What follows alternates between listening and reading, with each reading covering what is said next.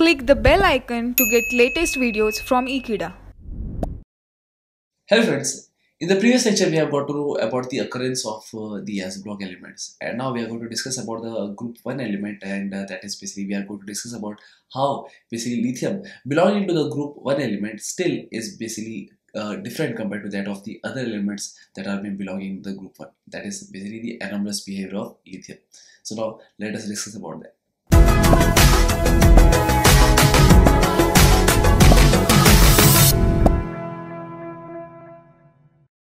So talking about the uh, anomalous property of the lithium. So first of all, we should understand that uh, the lithium is the one which is basically the first element of the group uh, one element or the group one elements, and that's the reason that uh, it will have a smaller uh, atomic size as well as a smaller ionic size. So the first property that is what we have got is basically it has smaller atomic size as well as smaller uh, that is ionic size. And because of this property, we could say that uh, the lithium is basically the one which will have more polarizing power.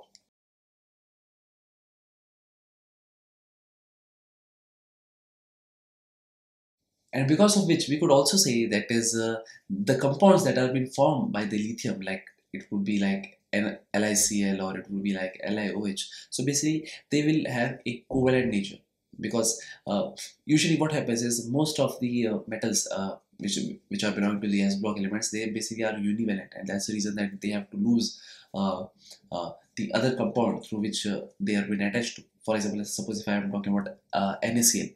So NaCl is basically an ionic compound. The reason behind that is the sodium is more electropositive and it, it has a capacity to give out its electron to the chlorine atom through which it was been associated so that's the reason the ionic compound or the ionic nature is what we could observe in the elements that are been belonging below the lithium. So that's the reason uh, the lithium has a different property and that's the reason we could also call it as the compounds they have basically covalent nature. And talking about since it has the smallest atomic size so therefore we could also say that uh, it will have uh, the more density as well as we could also say that the boiling point and the melting point will also be high compared to that of the other elements uh, in the group 1. So these are the certain points that I was talking about and now let us understand uh, uh, the more uh, uh, points related to that why that is the lithium is uh, completely different compared to that of the other elements or in terms of property it is different compared to that of the other elements of the group 1. So talking about the first point that is physical property.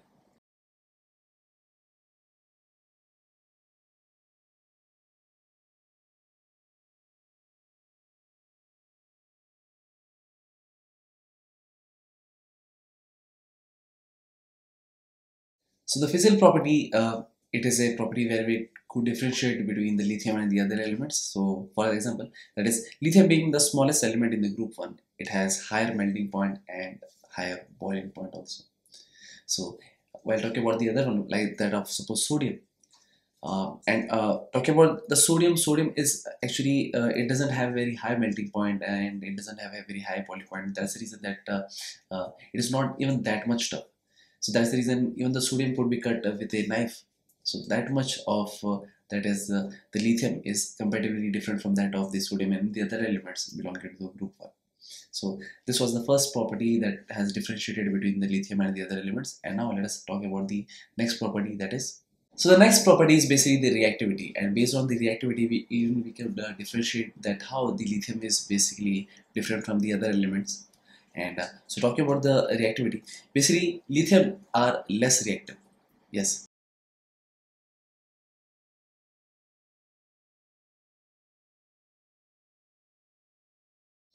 So lithium is basically less reactive, but it is basically the strongest reducing agent.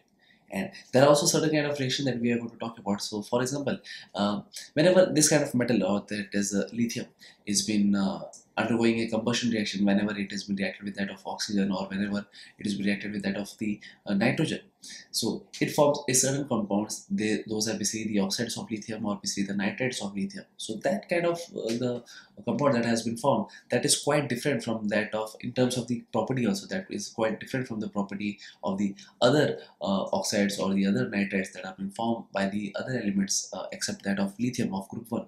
So let us discuss about the chemical reactions of uh, those lithium with that of the oxygen as well as the nitrogen.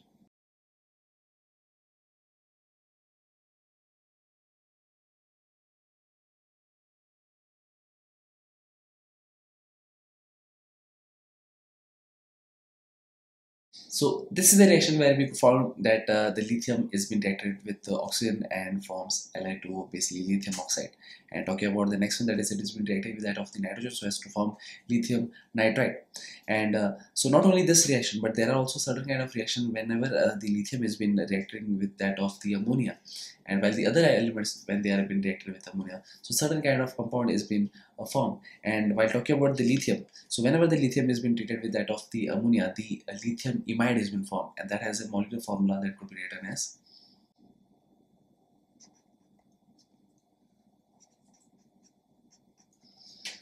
So basically, Li2NH is basically known as lithium imide.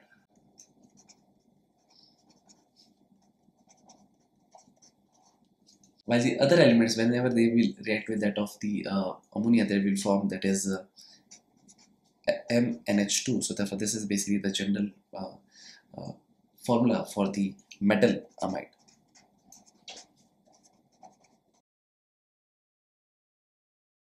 So this is uh, the something uh, that we have discussed about the reactivity.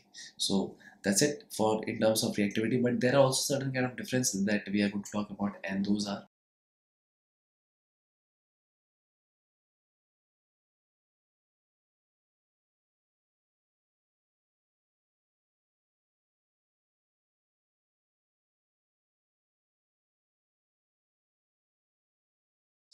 So the other difference is basically the uh, the chlorine salt of the uh, lithium that is uh, when we are talking about LiCl.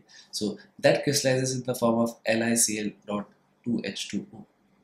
While talking about the other point that is uh, they form stable hydrates. For example, lithium. Uh, while the other hydrates like that of the sodium hydride or any other metals that are belonging, so they form unstable hydrate. While this forms the stable hydrate.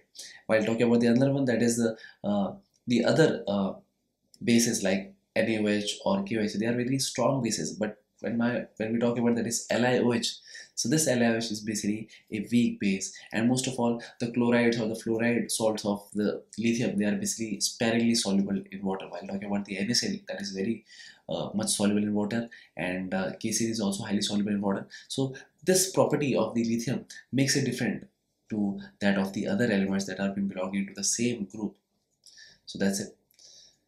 So thank you friends for watching this video. I hope you have understood this video very clearly and you have got to know the difference between the lithium and the other elements that are belonging to group 1 so i hope you'll share this video with your friends and yes don't forget to subscribe. Ekeeda channel. Thank you so much